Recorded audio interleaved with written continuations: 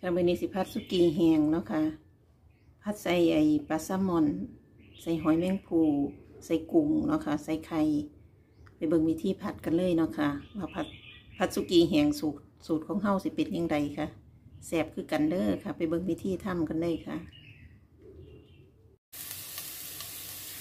ผัดสุกี้แห้งค่ะ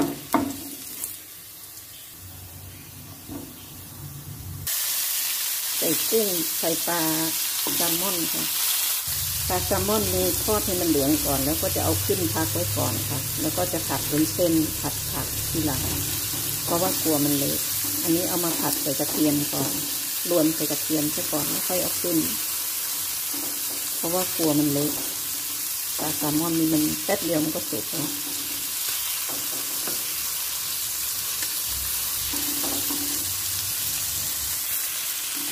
ส่วุ้นเส้นก่อนค่ะ เพราะว่าวุ้นเส้นนี่มันมันสุกยาก ผักเนี่ยเอาลงแป๊บเดียวก็ได้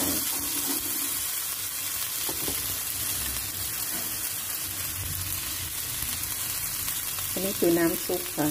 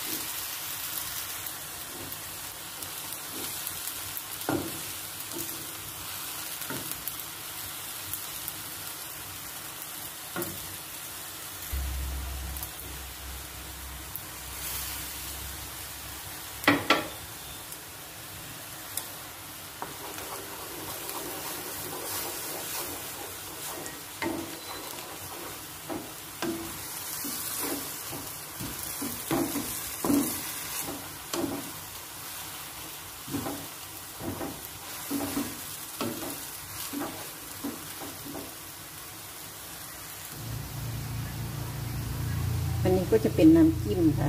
ใส่น้ำจิ้มไปเลย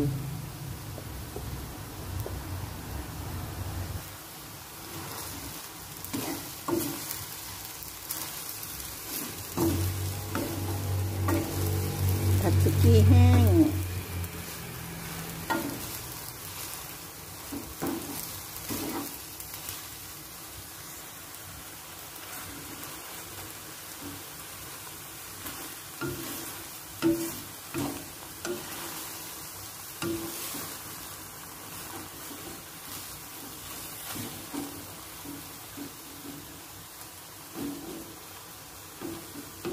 นี่ปลาแซลมอนอุตสาห์ขึ้นพักแล้วนะคะพอมันสุกแล้วมันก็จะเละอย่างนี้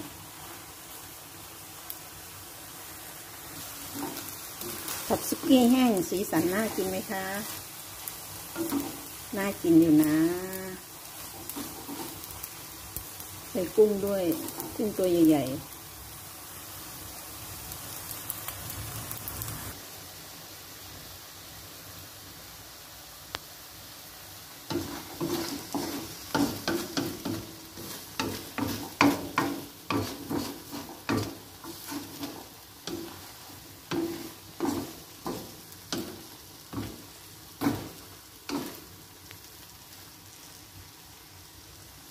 ร็จแล้วแค่นี้ก็จบแสบๆน้ำกันเด้อค่ะ กินสุกี้แห้งวันนี้พัดแห้งๆเสร็จค่ะใครอยากกินก็ไปเฮ็ดกินได้เนาะค่ะ แล้วถ้าเฮาสิมีเครื่องหยังใส่เฮาก็ใส่ไปโหลดนะคะเพราะว่าพัดพัดสุกี้แห้งบ่ได้พัดยากค่ะ พัดง่ายๆเฮ็ดกินง่ายๆเนาะค่ะ อยากย่ำใดเฮ็ดกินย่ำนั้นค่ะ จบคลิปไว้แค่นี้ละค่ะ ขอบคุณหลายๆเข้ามาติดตามกดไลค์กดแชร์กดซับสไครต์คนถุงคุณล่าเนาะค่ะสำนีละค่ะ สวัสดีค่ะ